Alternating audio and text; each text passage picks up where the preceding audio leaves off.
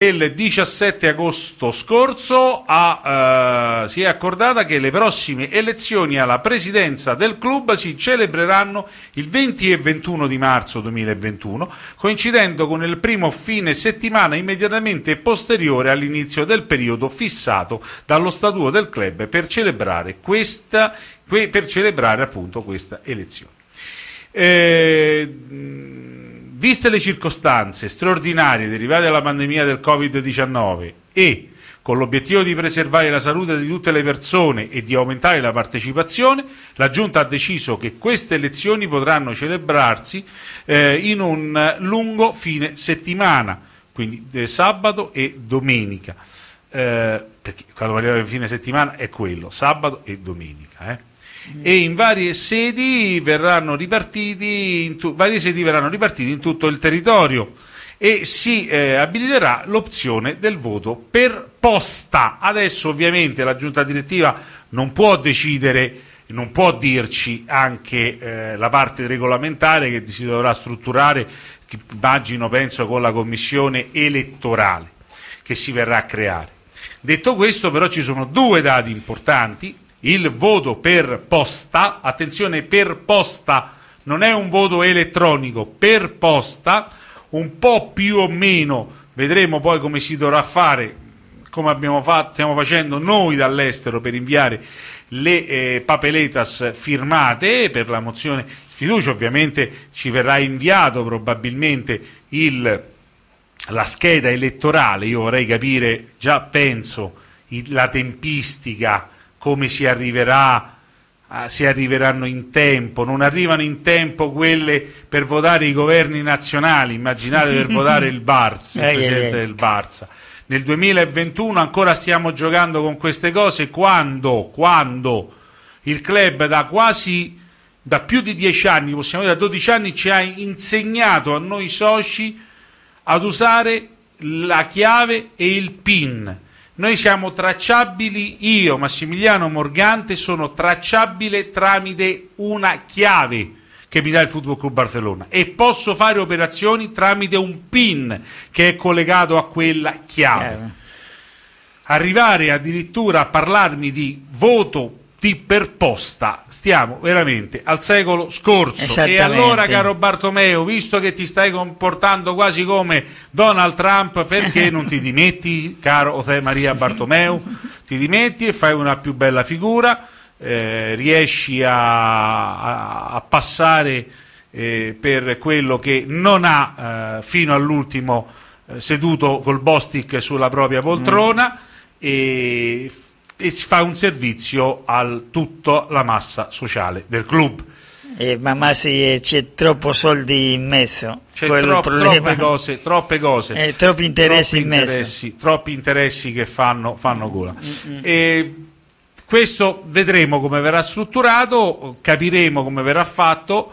È inquietante, è abbastanza inquietante, io lo dico, oggi a uh, Catena Ser Catalugna, è stato, io quando l'ho ascoltato sono letteralmente caduto dalla sedia dove ero, perché Figueras, che è il segretario dello sport della, della Generale di Catalogna, ha detto testuali parole a, a Chite Giugas, un programma radiofonico di catena Ser Catalogna, ehm, che preferirebbe che l'assemblea non si faccia.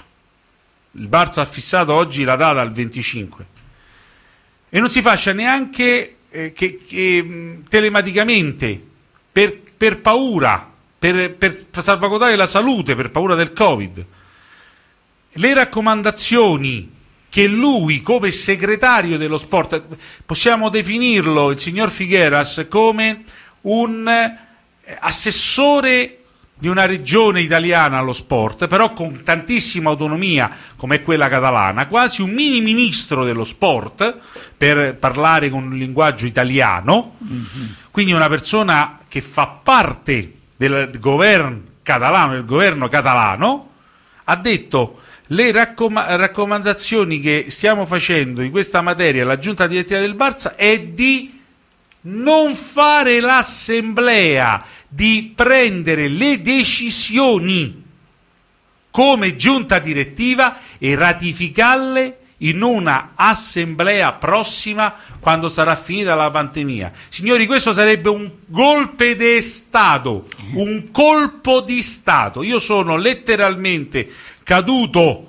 dalla sedia oggi quando lo ascoltate da un membro del governo catalano che con questa opzione lui dice di parlare per garantire la salute dei, dei, dei soci quando si co- co- costringerebbe il club a un, co- a un colpo di Stato perché la giunta direttiva non può e non deve, non può e non deve decidere su un potere legislativo che è dell'Assemblea. Signori, qui il potere esecutivo si va sommando a quello legislativo, non c'è più nessun controllo diventiamo un club di un padrone, in questo caso di un gruppo di padroni. E questa cosa bisognerebbe fare le barricate al Camp Nou, altro che scendere per Messi. Me ne frego di Messi, non mi interessa Messi. È il nostro modello, e i nostri valori che sono toccati anche da questi politici irresponsabili che credono che hanno il terrore perché il capitalismo mondiale ha distrutto la salute, ha distrutto tutto quello che era possibile per la collettività e questi politici, servi del liberismo mondiale, si sentono in diritto di, di, di, di parlare della salute dei cittadini. Vergogna, vergogna! Vi siete approstati, apperecoronati al capitalismo yankee e questo è il risultato che in un club dove c'è un azionario popolare si viene a parlare di unire il potere legislativo a quello esecutivo. Non c'è più nessun controllo, non c'è nulla. Vergogna, vergogna da un politico, vergogna. Veramente uno schifo. Siete tutti uguali in Italia, in Catalogna, in Spagna.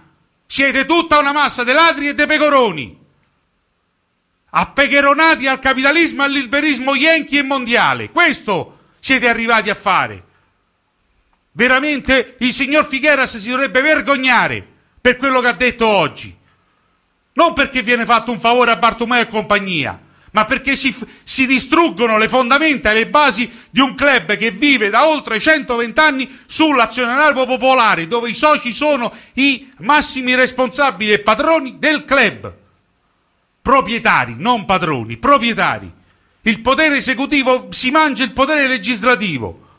Nel 2020, dove un'assemblea di soci si può risolvere tranquillamente con i mezzi tecnologici, ci viene a fare il signor Figuera su un discorso di questo genere. Si vergogni, se ne vada, vada a casa, si vada a nascondere per quello che dice, perché la salute dei cittadini non si, non si risolve diminuendo le garanzie e le libertà collettive, non dell'individuo, perché la vostra società occidentale vi ha portato a pensare che la libertà individuale è dire e fare quello che cazzo vi pare a voi, quando la libertà è collettiva. E questa gente non sa neanche cosa significa né la democrazia né la libertà. Vergogna! Fate schifo, vi dovete vergognare. Politici italiani, catalani, spagnoli, americani, inglesi, tedeschi, ve dovete andare a casa. Vi dovete vergognare di quello che state dicendo, vergognare e di quello che state facendo. È assurdo. E io non volevo da questa tribuna parlare anche di queste cose, ma mi ci porti, signor Figueras. Mi ci porti, dopo le stronzate che hai detto oggi. E, e su questo, su questo, su questo bisogna mandare il popolo, in questo caso la massa popolare dei soci blaugrana devono mandare a casa questa giunta direttiva con la mozione di sfiducia e mandare a casa questi politici che si sono appecheronati di, eh, presso a queste persone. Mandarli a casa, firmare la mozione di sfiducia per mandarli a casa. È quello che stiamo facendo. È l'appello che vi faccio a chi può ancora ascoltare, specialmente in Catalogna. Il potere esecutivo non può essere, non può fagocitare il potere legislativo. E proprio perché, proprio perché, e poi lascio la parola a Alberto e parliamo di Messi, proprio perché c'è la possibilità con 7500 firme che si sono raggiunte fino adesso, fino a, scusate, fino a lunedì, adesso ovviamente saranno molte di più e vedremo lunedì prossimo nell'altro aggiornamento, che cosa succederebbe tecnicamente se verrebbe approvata la, la, la raccolta firme, come regolamentata dallo Statuto. Che il Football Club Barcellona vive eh, un momento più traumatico della sua storia moderna, ne siamo tutti completamente d'accordo. Diciamo che Leo Messi è stato l'elemento che ha scatenato eh, la situazione di Messi è stato l'elemento che ha scatenato la rabbia della massa sociale contro l'attuale giunta eh, direttiva e del presidente Bartomeo. Quando eh, ha chiesto per il burofax che il club eh, gli dava la carta di libertà per svincolarsi dal club. Eh, è arrivata tutta una serie di reazioni ehm, fino insomma, a presentare la mozione di, eh, di sfiducia contro l'attuale giunta. Eh, vediamo un po'. La, la, uh, cosa dice il regolamento? Cosa dice il regolamento? In quel senso. Allora, intanto come abbiamo detto serve il 15% dell'aventi diritto per, per, eh, di firme per andare al voto della mozione. Ehm a quel punto, se si dovesse raggiungere, i promotori della, della mozione di sfiducia dovranno comunicare per scritta alla giunta direttiva il loro proposito. La giunta dovrà... Eh, ah no, scusa, questo è quello che, questo è, quello che è successo. Sì, sì, eh, sì quello eh, è successo. Sì. Eh. Ah, ok, allora sì, una volta Vabbè, che. Ma, ma è... tu, tu, tu, fai tutti i passi così una la volta, gente capisce una, bene. Sì, allora i promotori della mozione di sfiducia hanno comunicato eh, per iscritta alla giunta direttiva il loro proposito. La giunta direttiva ha consegnato le papeletas entro 5 giorni feriali. Esatto. Poi, una volta presentata formalmente la mozione di sfiducia, si costituirà questo tavolo eh, della mozione di sfiducia, tavolo, tavolo della, della commissione elettorale questo tavolo sarà integrato dai primi due soci firmatari, due membri della giunta direttiva, un delegato uh, della Federazione Catalana di Football che sarà chi eh, presiederà Presidente. il tavolo, il Presidente. Una volta costituito questo tavolo si eh, comproverà che questa mozione compie tutti i requisiti e avrà dieci giorni appunto per farlo. Quando questa richiesta verrà ammessa, si chiederà alla giunta direttiva di convocare la data per realizzare la votazione. La convocatoria della votazione, la convocazione della votazione deve essere pubblicata dalla giunta direttiva. Soltanto potranno votare i soci che abbiano la condizione di elettori. La mozione di sfiducia trionferà se si ottengono due terzi o più dei voti, sempre che il numero di questi sia come minimo del 10% dei soci del club. Così dice lo statuto e se vince la mozione di sfiducia i membri della giunta direttiva sfiduciati verranno rimossi dal loro incarico autonomamente. Quindi più o meno possiamo dire che se passa questa, questa, la, la, la raccolta firme per ottobre, quindi se è stata fissata per il 25 di ottobre l'assemblea, c'è il rischio anche che prima venga votata la mozione di sfiducia. Ma poi entriamo anche in quel meccanismo se ci sarà questa possibilità di votare la mozione di sfiducia perché si arriva alle firme, alle 16.520 firme richieste, che succede? Si farà, verrà avvicinata al giorno della, della, dell'assemblea, verrà posticipata dopo, verrà anticipata l'assemblea, oppure, e come ci sarà la votazione? Come è stato scritto anche per per evitare assembramenti, anche per, eh, anche per i, eh, eh, mettere tanti punti nel territorio, fare il voto per posta. Ecco. Tutte queste cose sarebbero da eh, subito, immediatamente, Da, da comunicare? Da, no, da comunicare, da, da dibattere da, già. da risolvere